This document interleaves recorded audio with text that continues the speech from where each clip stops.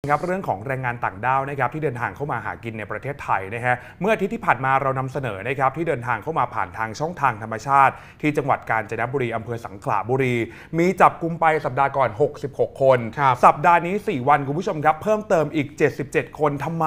หลายคนตั้งคำถามว่าต้องเดินทางเข้ามาในประเทศไทย ผมไปแอบทราบมาว่าจริง ๆ ในตอนนี้เนี่ยที่ประเทศเมียนมานะครับมีเรื่องของการเกณฑ์ ชายไปทหารอื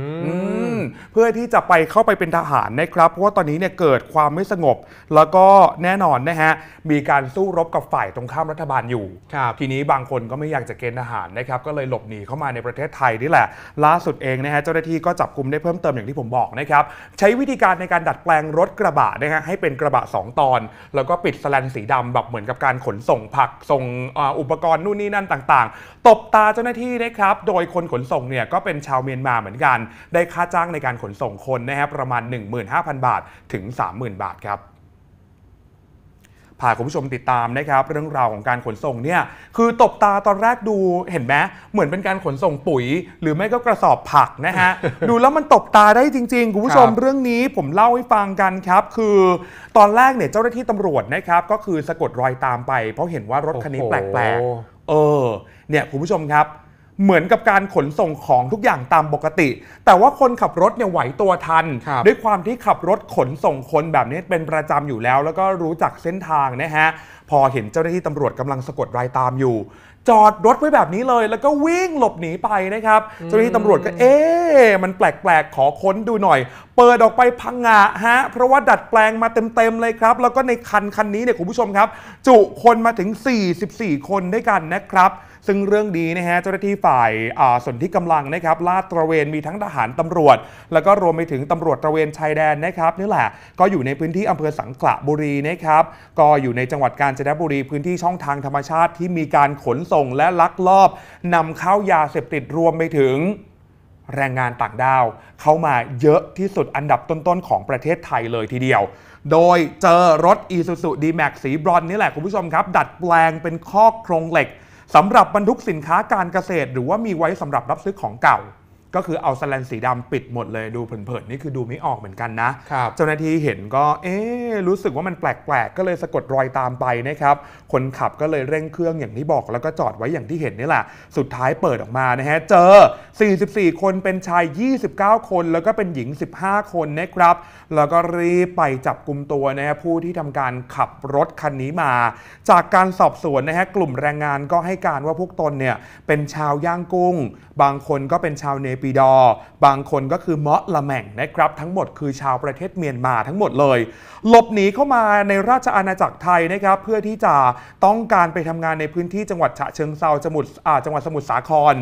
ก่อนหน้านี้จับกลุ่มไปเขาบอกว่าอยากจะเข้ามาในพื้นที่ในเมืองคือจังหวัดกาญจนบุรีครับก็ขอแบบอยู่ตรงนั้นแหละ อยู่ใกล้ๆชายแดน เพราะว่าโดนจับจะได้หลบหนีได้ง่ายอะไรประมาณนี้ แล้วก็พอจับกลุ่มนายหน้ามานะครับนายหน้าก็ให้การว่าตัวเองเนี่ยได้รับค่าจ้างมานะครับคนละประมาณ 12,000 บาทถึง 30,000 บาทต่อคนนะ จับมา 44 คนเนี่ยคุณผู้ชมครับ ในคันนี้ก็คือได้ไปหน่อๆหลายแสนบาทเหมือนกัน แล้วก็แน่นอนนะครับที่ผมบอกเล่าให้ฟังเมื่อสักครู่นี้ว่าทำไมแรงงานต่างด้าว ต้องหลบหนีหลบเข้ามาถูกต้องครับเข้ามาในประเทศไทย ตอนนี้สาเหตุหลักๆ เลยที่หลบหนีเข้ามาหางานทำในประเทศไทย เพราะว่าภายในประเทศของเมียนมาเนี่ยเกิดความไม่สงบเกิดขึ้น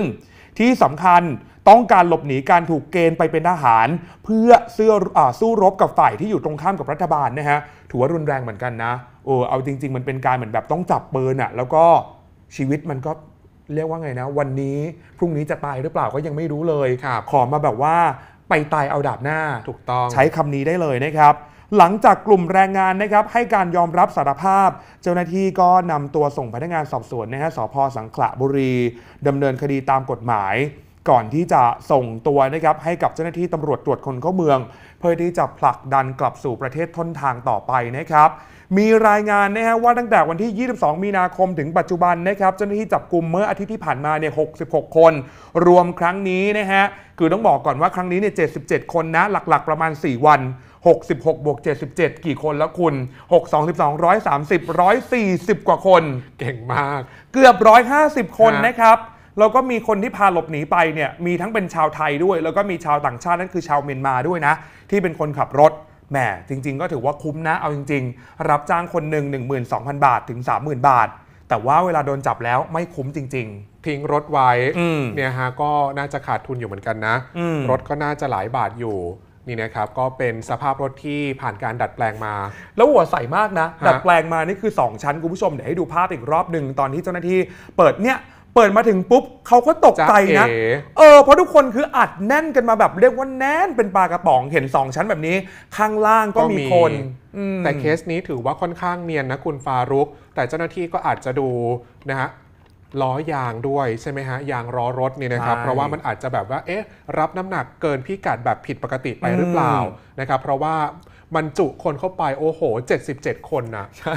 4วัน77 เหมือนคันนี้คนเหมือนคันนี้จะ 44 คนแต่ 44 คนก็เยอะนะคุณครับถ้าเกิดตีว่าแบบกลมๆเลยคือข้างบน 22 คน ครับข้างล่าง 22 คนคุณสภาพกระบะเวลาเราเล่นสงกรารอะเวลาเราทุบเข้าไป 6-7 คนนี่คือเต็มกระบะแล้วนะโอ้ครับสุดเนี่ยนะยอดฮะ จริง ๆ อืม